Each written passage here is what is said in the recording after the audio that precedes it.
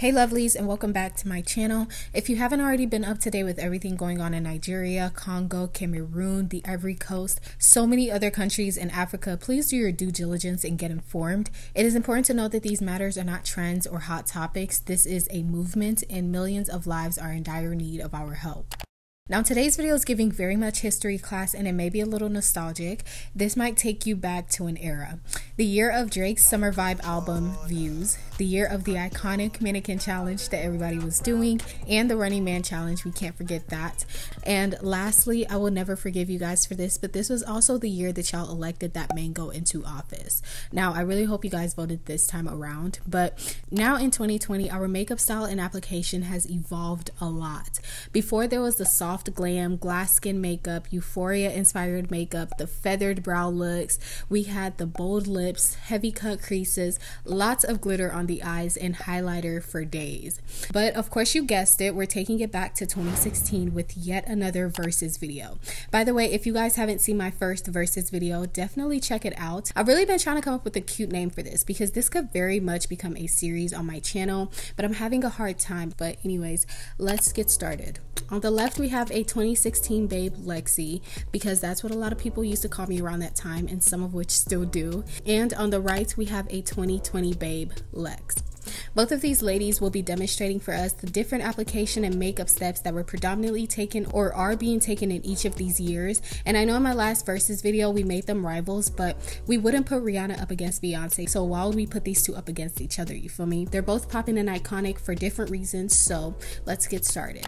We're starting this off with some brows. In 2016, if your brows were not blocked or tapered, maybe you were not a part of the cool kids, we would line over line and darken our brows with so much brow product and we we would make sure that the front ends had that tapered illusion. Now in 2020, it's all about the feathered brows, light and airy and very natural. I used the Got2b styling gel to put everything in place. And although I've been doing this for years, now I just kind of flick my brow hairs up a little, but not that spiky look that I've been seeing all over Instagram. Y'all know the ones that I'm talking about. I'm just personally not a huge fan of that look, but I fill it in mainly at the bottom to give it that sharp and crisp line. And then I just fill in some of the sparse areas that I have just like that. Now, moving into concealing the brows, 2016 was definitely the year of the halo brows, whether intentionally or unintentionally, with everyone using concealers four to five shades brighter just to conceal. Don't ask me why, I don't make the rules, but I would use the LA Girl Pro Concealer in Fawn underneath my brows. This line of concealer was very, very popular around this time and it was very inexpensive, so you know my 16 year old self definitely got a hold of it. Now I use the Revolution Concealer in C13. It's still a bright concealer yes, but it's definitely not as bright as you can see. So there was also this thing of connecting your brows to make sure that they were the same height. Again, I don't make the rules, but to conceal the top now, I use whatever foundation that I'm using that day. And in 2016, I would just go in with Toast from the LA Girl Pro Concealer line. And then, of course, you know, connect it to make sure that it's the same height. Y'all know the drill. And then I would blend it out to the best of my abilities or what I thought was blended out.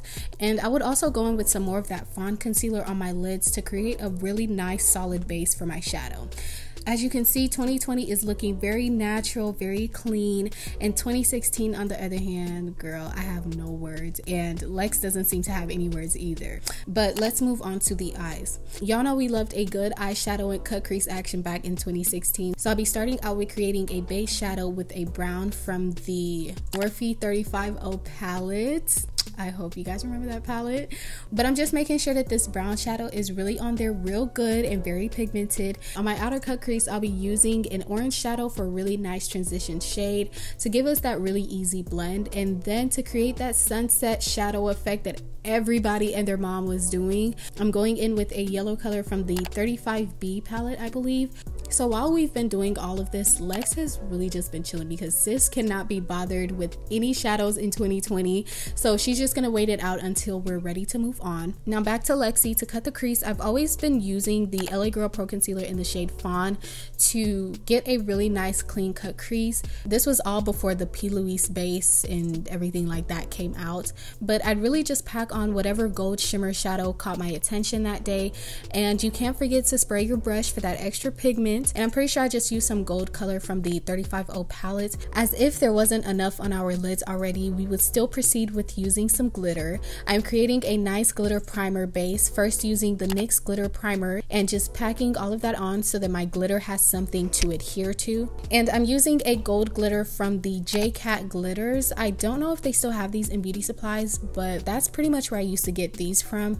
And I would just pack all of that glitter on there until I was content and satisfied.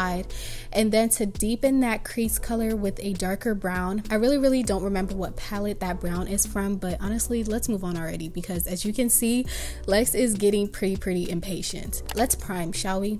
Hmm. So whichever one of our O'Shea influencers that started this, I don't know if we should be thanking you or calling the feds, but it was very, very trendy to use Milk of Magnesia to prime back in 2016. Now I mainly just prime with the Milk Hydro Grip Primer. Now, does it do much? I really, really don't know, but it feels good on the skin, so we move. Both of our ladies are equally primed, so let's move on to foundation. The goal then was to have a super full coverage, extra mattifying foundation look, and now we pretty much just go for a more skin-like and subtle look, you know, nothing that looks too, too cakey. I'm mixing a mixture of both of these foundations for that full coverage look in 2016, and Lex is using the Can't Stop, Won't Stop foundation in Deep Cool, and then she's lightly just blending that out across her skin. But do y'all see the difference between the two? Like, it's almost very cakey on the 2016 side, but again, I don't make the rules, okay?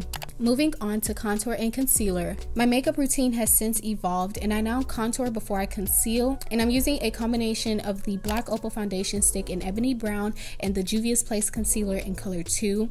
In 2016, I would literally just go straight in with that fawn concealer girl and I would pack it on to conceal. By the time I was done quote unquote blending, my whole face would be a completely different shade. And you all can see how the difference in technique and application changes the shape of my face almost. Then I would also contour by placing the contour so low and looking back it's really not that flattering on me but now as you can see I have a higher placement for the contour and this kind of changes my face a little you feel me but I also conceal now with the Too Faced concealer in Butterscotch and the Makeup Revolution concealer and I place it strategically to where my concealer is not covering my entire face and it also gives it a very nice and easy blend as well. Then on both ladies we're going to blend out the nose contour. You can also see that the placement of the nose contour is very different now to flatter my nose shape a little better. If only we knew then what we know now. Shaking my head. But I would even add a bit more concealer on my nose and blend it out just a little bit.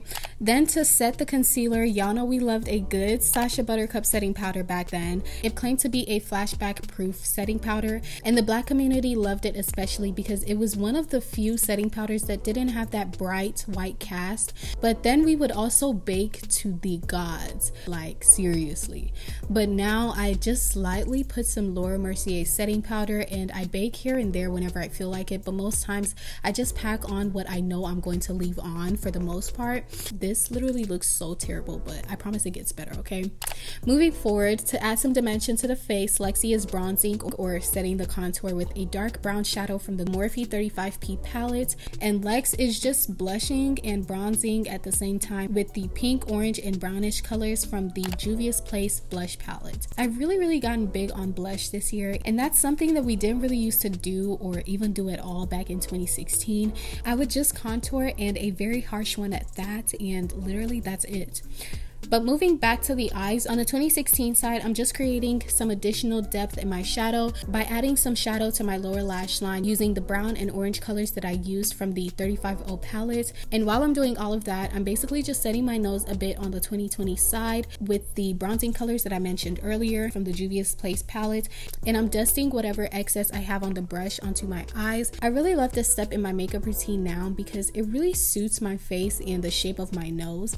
But time for some more eyes. 2016 makeup style was really big on winged eyeliner because if you did not have winged liner, you literally could not sit with the cool kids at all. And that's like because I could not do a winged liner to save my life then. But as for right now, I'm just adding a bit of a winged liner using this NYX matte eyeliner. But to add some mascara, I really don't think there's any way to change up your mascara routine, so it's all the same step. like, but on the 2016 side, I'm using the Maybelline mascara, and on the 2020 side, Lex is using the Huda Beauty double-ended mascara mascara. And there you have it. Mascara is all complete.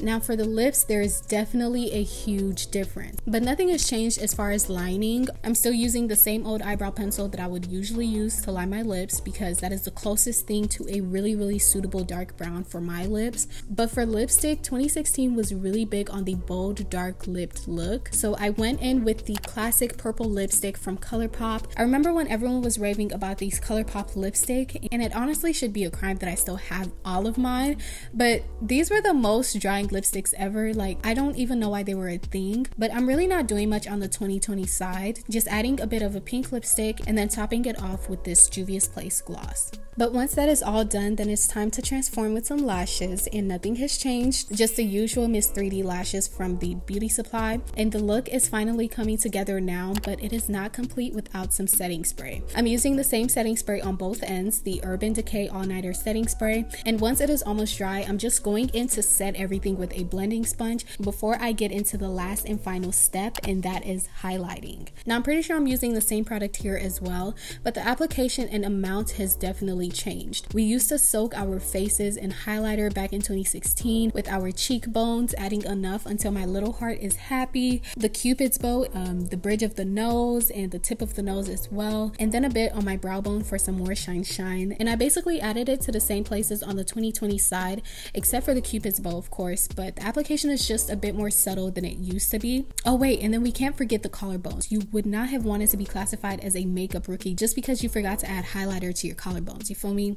Whether you were a 2016 makeup babe or you are a 2020 makeup babe or both, your makeup routine definitely changes over time and it gets so much better with more practice. I really can't wait to see where makeup techniques will go within the next few years. And if your makeup application now is like that of 2016's, there is no shame in your game, sis. You do it because it works for you and you look damn good. But I really hope you guys love this video. Comment down below who is your fave and of course share this video with all your favorite people. They deserve to be put on game too, you feel me? But with all of that being said, keep up with all of EndSARS and Africa's updates, educate yourself as well as others, and I will see you guys in my next video.